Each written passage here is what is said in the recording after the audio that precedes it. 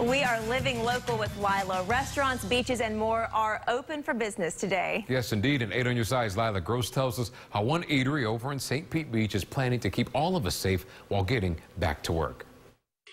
Beaches are expected to open up in Pinellas County today, and lots of different businesses are excited to hopefully see some extra foot traffic in that area. Matt with Toasted Monkeys with me today. Can you tell us a little bit about what you're preparing for as beaches will be opening? Yeah, we are uh, slowly preparing to open up for like social distancing. We're um, cleaning sanitizing, and we're uh, excited to be able to serve some of our guests that we haven't seen in quite some time.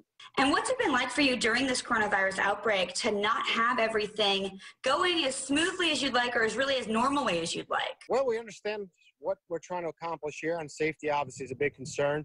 But it's been pretty uh, hard on all of us. I have over 200 and something employees at all my at four four of my restaurants. Most of them are out of work. Um, our business has been down 94 percent. Um, we missed the busiest time of the year. Um, so it's it's it's been trying for um, not only myself, all the other restaurant owners, I'm sure, across the country. So beaches are opening today. What are you looking forward to? What are you hoping you get to see?